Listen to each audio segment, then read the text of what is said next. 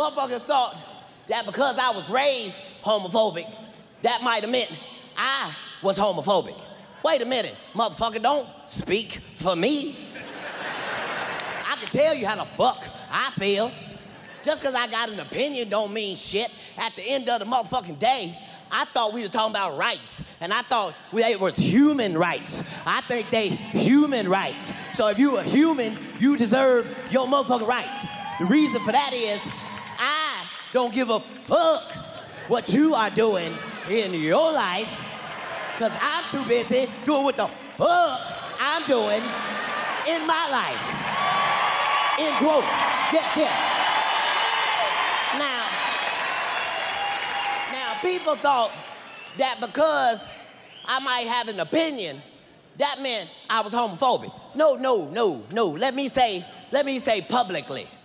Let me see very publicly. If there was a dude and I had some shit to say, that's not because I was homophobic, motherfucker. I'm not homophobic. I'm pro pussy. There is a difference. I think you need to understand. I, I was trying to help.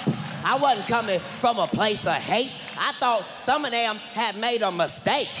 I'm saying if you try a vagina and it leads you to a life of asshole, wait a minute. If at first you don't succeed, sir, try, try again. What the? You must have got the wrong vagina. They are delicious. Huh? You should try another one. All of them are delicious. Huh? But I realized, I realized there was a contradiction because if you ask me about gay dudes, I have some shit to say. But if you ask me about lesbians, I don't have shit to say about lesbians. I've already had this conversation with Jesus. He know I love lesbians. I don't even think lesbians should pay taxes. I really don't. I think they are already taking care of two vaginas.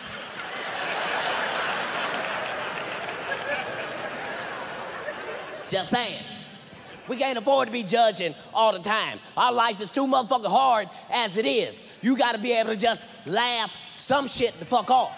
I just don't like when they try to force shit down our throats. Had Jason Collins come out as the first openly gay basketball player. Uh, that's fine and all, but nigga, you can't suck at both things.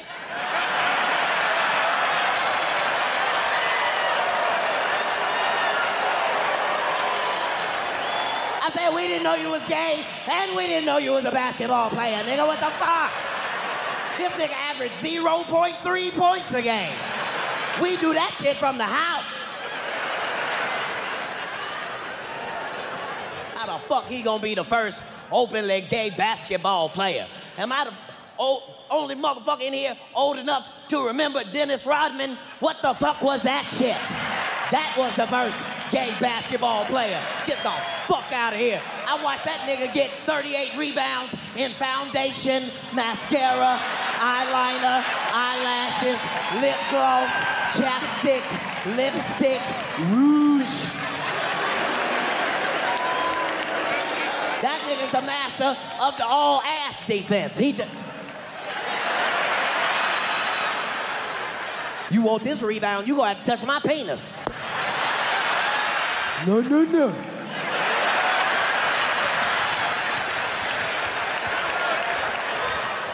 Sometimes you just gotta be able to laugh. They had Michael Sams come out. He finna be first gay NFL player. And when that shit came out, everybody had an opinion. He was right here, and everybody over there had an opinion, and everybody over there had an opinion. But nobody's opinion was solid. They go up to the player. Do you care that your teammate is gay? Hell no. I don't care what he chooses to do with his own personal life. As long as he comes in here ready to win championships and knows the playbook, then we have a teammate. You mean you don't mind sharing a shower with him?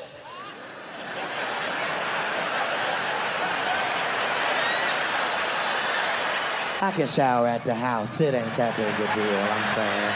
I'm generally fresh than a motherfucker anyway. Why the? Just saying. Can't make judgment all the time. Sometimes you gotta be able to laugh. I don't have to be motherfucking political. I don't play football. I'm a football fan.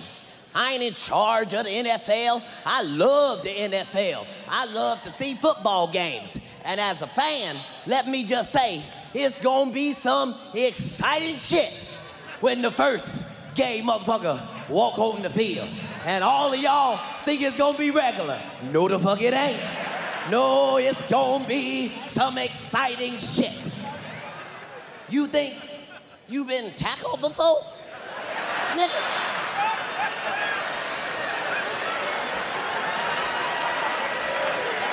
You think you've been sacked before? Nigga.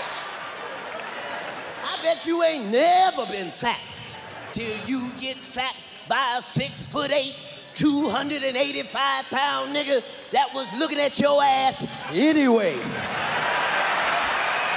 He just on the line. Just...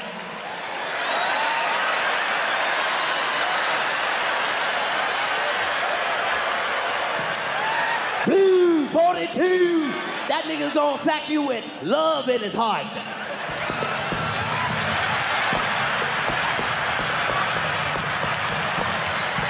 I'm down, I'm down, I'm down.